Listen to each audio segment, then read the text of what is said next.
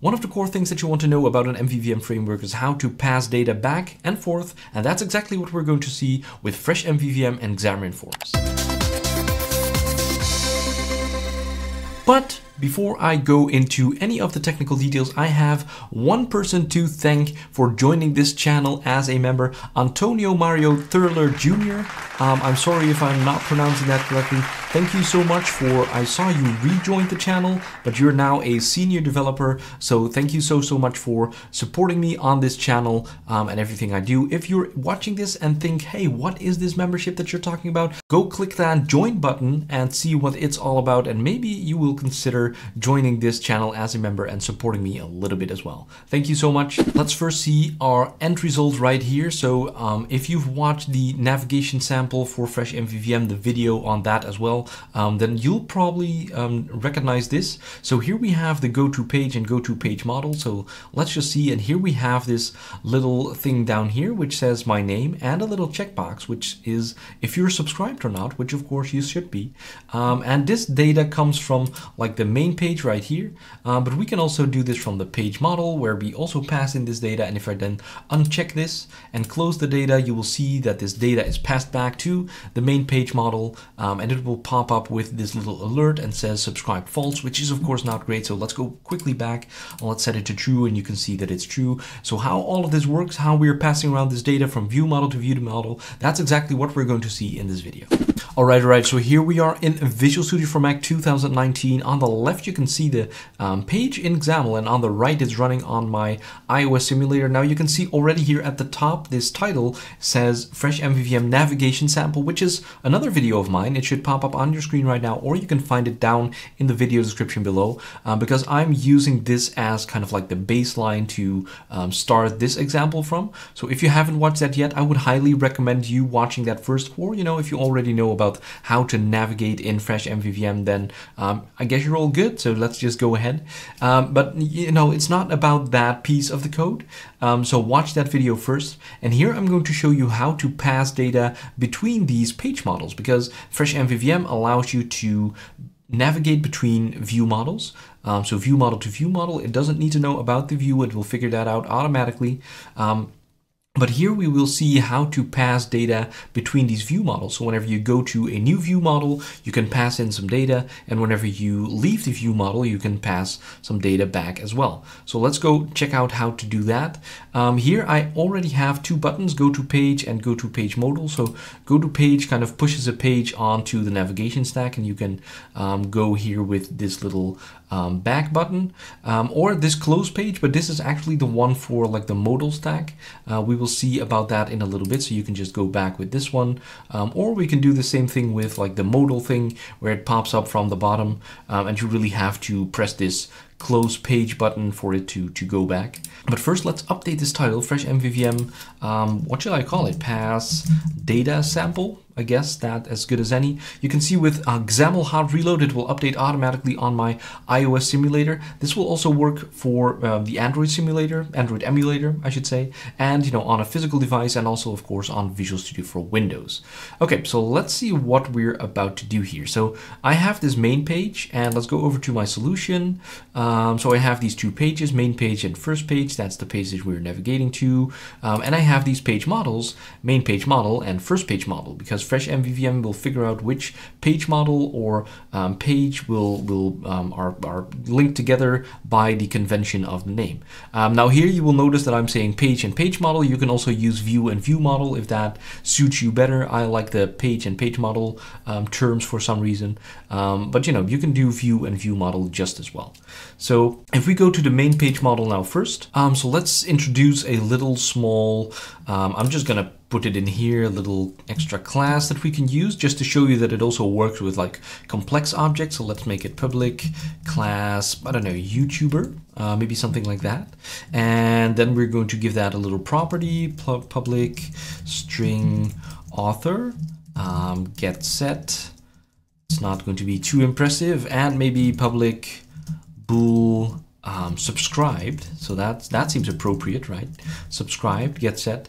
Um, so now we have a YouTuber class and let's see how we can transport that um, into our new page. So in my um, main page model, I'm going to just say var um, YouTuber is new YouTuber. There we go. And I'm going to initialize that with author.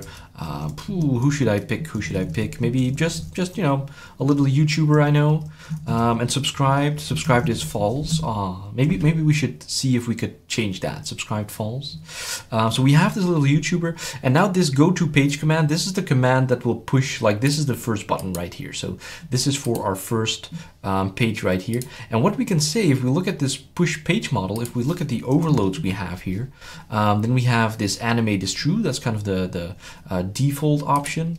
Uh, but we also have this object data, and then you can set it as modal and animate. But the object data is kind of the interesting one.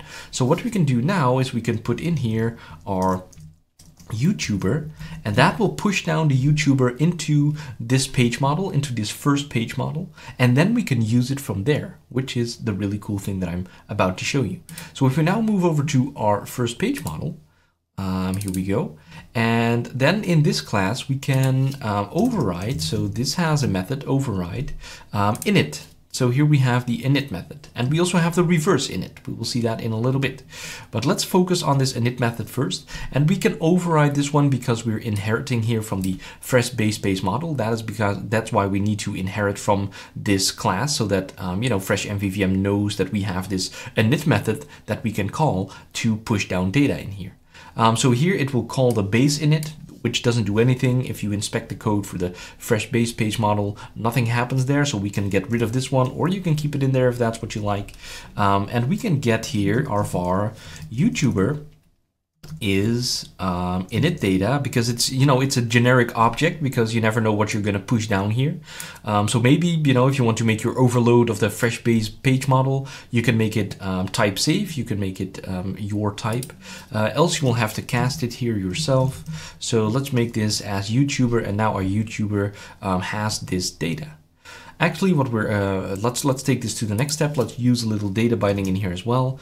Um, so let's make another property here. Property um, YouTuber YouTuber um, get set. There we go. So I'm just adding a new property to this first page model. If you don't know about data binding or anything is confusing here, I totally get that. Um, I have some videos on data binding already. So the uh, playlist should pop up on your screen right now or is down in the video description below.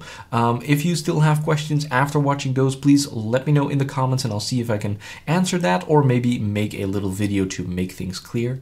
Uh, so I'm going to go a little bit fast on this one, assuming that you have a little bit of knowledge about data binding and that kind of stuff. Um, so we have this YouTuber here, um, and let's then change this to YouTuber is in the data as YouTuber. There we go. Um, so that assigns it to this property right here. And what we can then do is go to our first page model. So let's go to our page. Uh, sorry, our first page, not our first page model. There we go. And I'm just gonna not worry about the design, so I'm gonna add here a new label, uh, which has a text of binding, and then we can say YouTuber, so this is cool, right? We can go into that property, and then from that property, we can go into the properties of that object. Does that make sense? So we have the YouTuber, and then we can go to the YouTuber dot author. We can just navigate in here, and the data binding will pick that up. So we have this one, and let's also add a little checkbox is checked. And let's make that binding again. We can just go into the YouTuber here because, you know, the, the view, the page and the page model will have that binding context wired up automatically because Fresh MVVM does that. Um, and we can say subscribed and it will pick that up as well. There we go, little checkbox. If I save this, then we can probably see that already popping up. Here's our checkbox, see? But it doesn't do this yet because I also made changes in code. Um, so I think I got this already. So let me stop this and restart this real quickly. Um, so what we're going to see here now is in our main page, we have this um, button right here, go to page, which calls the go to page command. Then we go to our page model, which has the go to page command. This will push a page model, uh, namely the first page model, and we push in here the YouTuber. So then we come to this first page model, and we land in this init method, it will see that we have this, this init data as YouTuber. We are going to assign this to the YouTuber um, property that we have here. And then in our first page, it's going to fill these properties in, in the label and the checkbox by data binding by just referring to that property. And the real cool thing is, is if you've worked with MVVM before, then you know you might need to call the iNotify property change and that kind of stuff to make it all show up. That is all arranged for you in Fresh MVVM. So I didn't do any of that stuff. So if I now go to page, you can see that boom, it pops up here, Gerald Versluis, um, and the little checkbox, which is not checked because it isn't subscribed yet. Sad face. Um, but we're going to change that, right? So I can say, boom, subscribed right here. Of course, this doesn't work, so actually click on that subscribe button if you haven't done that already. Um, so that is how we can push this data on like the, the, the, the, one end, right? So we can push data in like that. But now let's say, so let's make this example. Let's say that this is maybe an uh, app that um, has users and details of those users. So you um, push a user in some kind of list view and it will take you to the detail screen with all kinds of entries like the first name, the last name, um, if the user account is enabled with a checkbox, yes or no. And if you make changes there, you might want to update your list view, right? So whenever we go back, we might want to push that little data, that little object back to the previous page and we can do something with it there as well right? So depending on your design, your architecture, that's something that you might want to do. Um, now, the thing is, if you want to do that, it's not that um, hard to implement um, because let's have a look at our first page model. Um, so that is this page that you're looking at here. We have our YouTuber through the init method. And what we can do here, just like when we said push page model, we also have pop page model. And you can say I'm already saying here like the modal. So this is this little close button right here. Um, but what we can also, we also have an overload here that takes a object as well.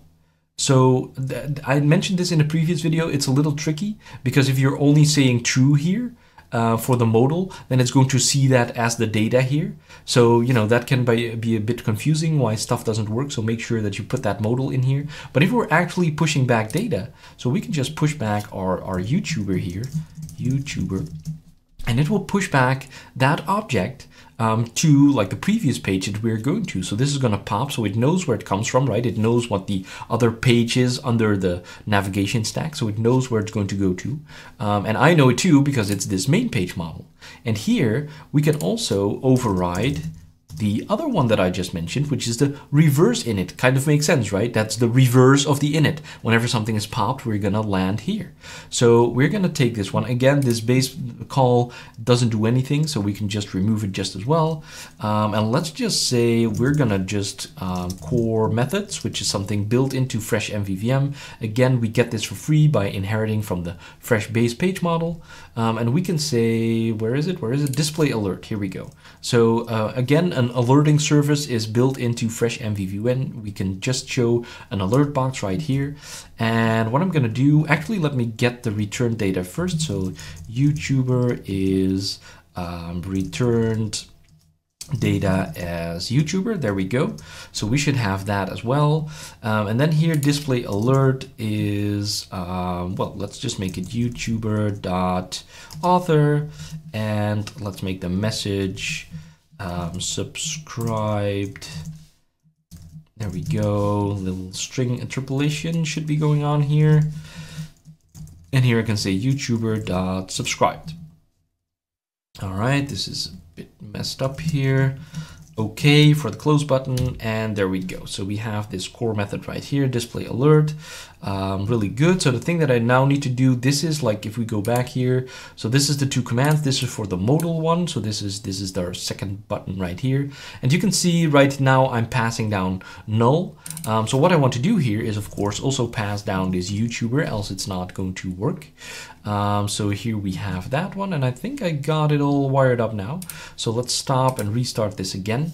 Um, and while this is starting, let me tell you that this is not, it's not exclusive to using modals, but if you want to um, kind of give back another um, piece of object, another piece of data, you do have to use that pop page model. So if you're going to use this back button right here, that's not going to work. Um, you really have to call this pop page model um, to to get back that data because this is the only place where you're passing in that data, right? So um, you can definitely use it without modals, but you will have to have this close button or um, some other way. Um, now, also this is kind of like where Fresh MVVM kind of breaks the MVVM pattern because if you look closely here at the overrides, um, you also have the view is appearing and view is disappearing. So I guess whenever you wire up the back button, you could do so with the is appearing and the is disappearing. Um, but then an extra layer of complexity is that in Xamarin Forms, I think the um, view is appearing and disappearing might be different between Android and iOS. Um, so that's probably not something that you want. So, you know, you just want to find some solution in your UI, maybe have a save button or something like that um, in your screen that will do the pop page model and give that data data back that way. Um, so that's just a little side note, but if we now do it through this modal page, um, then you can see my data is coming in here, Gerald Versluis, and the check button. And you can see if I do this, we're actually subscribed. Um, and I close the page and we can say, see that here is my name and subscribed is true. So it will also, which makes sense, right? It will also take back that data that you've changed, push that back because, you know, it's just a, a reference that you're passing into that um, object. So you will get all the changes back as well, um, which is really cool. And now you can handle that data in kind of like your main page model. Again, this, example, you know, is of course very much simplified, but if you have some kind of data entry application where you want to pass back and forth this data, this is how you do it. I now recorded a couple of videos on Fresh MVVM, kind of like the basics, how the navigation works, um, and now this passing data around. So I think you should have all the basics to get started with Fresh MVVM and this MVVM framework. Now, there is more frameworks out there, so if there's something else that you want to see, please let me know in the comments. Maybe it's about Fresh MVVM, something that you're still missing there, or maybe it's about another framework that I need to dig in and show you the beginnings of as well. Thank you again for watching another one of my videos. Like I said a little bit earlier on, maybe click that join button, see if you want to join that membership and support me a little bit for all that I've been doing here. Um, but of course, you can just also press that like button, which is very much free, and I'm still happy with that as well. Um, and check if that little subscribe button is lit up so that you're subscribed to my channel. You'll be notified automatically of new content, which is awesome. Other than that, I'll be seeing you for my next video. Keep coding.